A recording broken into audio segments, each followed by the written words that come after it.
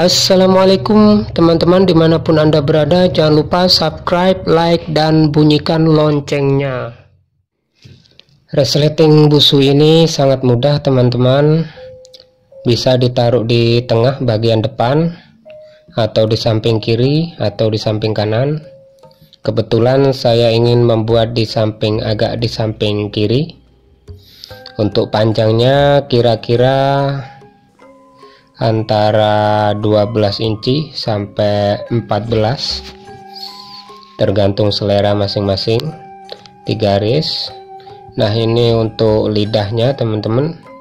5 cm panjang 14 inci teman-teman.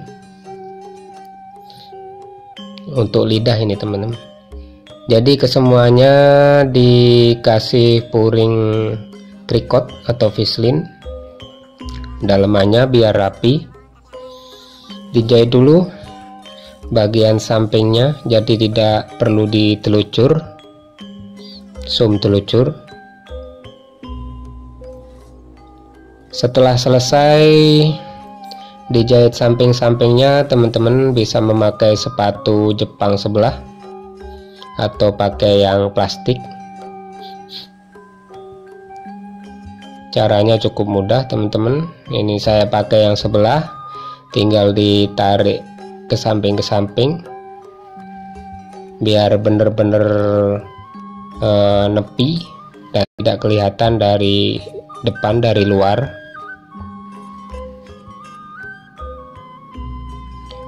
Cukup mudah teman-teman.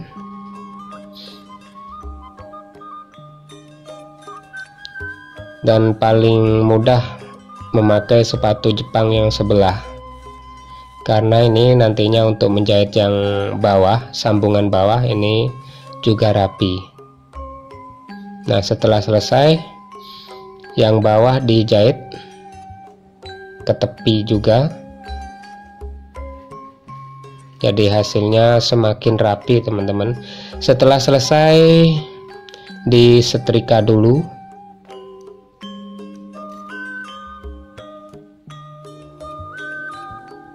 nah ini untuk badannya langsung digunting seperti ini. Kira-kira satu senti setengah teman-teman lebarnya itu. Tergantung selera teman masing-masing. Di setrika. Ini saya memakai trikot teman-teman. Nah seperti ini hasilnya bagian resleting juga di setrika karena menjahit adalah seni teman-teman. Ditelucur dulu jahit telucur pakai tangan. Untuk jarak atau kelebaran teman-teman bisa menyesuaikan menurut selera masing-masing atau bisa juga dibuat variasi-variasi yang lain.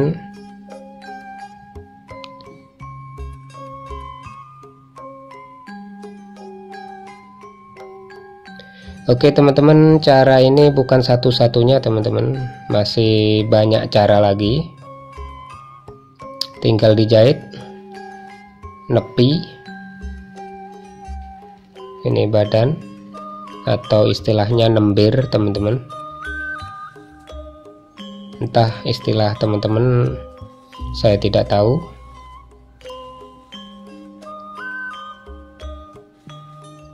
Ini tepi sangat tipis atau sangat nepi? Entah bahasanya apa?